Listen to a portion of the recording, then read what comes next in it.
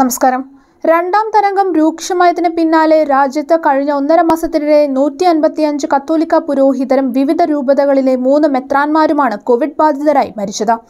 ഇവരിൽ മുപ്പത്തിയെട്ട് പുരോഹിതന്മാർ കേരളത്തിൽ നിന്നുള്ളവരാണ്. ഏറ്റവും കൂടുതൽ മരണങ്ങൾ റിപ്പോർട്ട് ചെയ്തത് സിറോ മലബാർ പള്ളിയിലെ തൃശൂർ അതിരൂപതയിലാണ്. എട്ട് പുരോഹിതന്മാരാണ് കോവിഡിന് കീഴടങ്ങിയത്. മരണപ്പെട്ട പുരോഹിതരുടെ പട്ടികയിൽ Latin Syro Malabar Syro Malankara എന്നീ ഇന്ത്യയിലെ മൂന്ന് കത്തോലിക്ക പള്ളികളിൽ ജോലി ചെയ്യുന്ന മതരൂപത പുരോഹിതന്മാർ ഉൾപ്പെടുന്നു. ഈ ഗുരുതര സാഹചര്യത്തിൽ പുരോഹിതരുടെ സുരക്ഷ ഉറപ്പാക്കാൻ മെയ് അഞ്ചിന് Catholic bishops conference of India C B C I മാർഗനിർദ്ദേശങ്ങൾ പുറപ്പെടുവിച്ചിരിക്കുന്നുവെന്ന് C B C I deputy secretary general father Jervis D'Souza പറഞ്ഞു. ജൂൺ ഒന്ന് മുതൽ മൂന്ന് വരെ നടക്കുന്ന മൂന്ന് ദിവസത്തെ വെർച്വൽ കോൺഫറൻസിന് ശേഷം Kerala Catholic bishops council K S B C പുതിയ മാർഗനിർദ്ദേശങ്ങൾ പുറപ്പെടുവിക്കും. പുരോഹിതന്മാർക്ക് സേവനങ്ങളിൽ പങ്കെടുക്കേണ്ടതുണ്ട്. അവരുടെ ജോലിയുടെ സ്വഭാവം അതാണ്.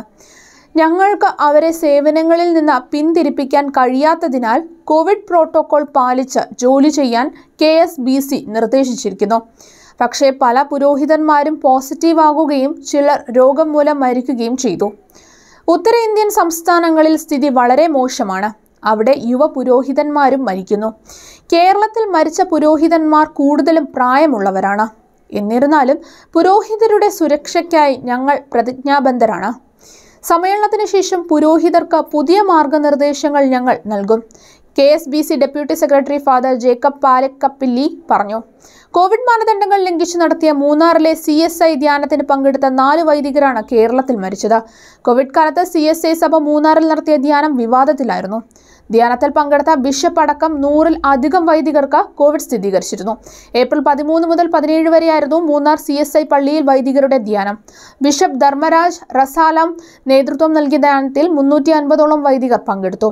കോവിഡ് പരിഗണിച്ച് ധ്യാനം മാറ്റിവെക്കണമെന്ന് ചിലർ ആവശ്യപ്പെട്ടെങ്കിലും പങ്കെടുക്കാത്തവർക്കെതിരെ അച്ചടക്ക നടപടിയെടുക്കുമെന്ന് മുന്നറിയിപ്പ് നൽകിയതായും സഭയിൽ നിന്നുള്ള വൃത്തങ്ങൾ പറയുന്നു. News desk right news.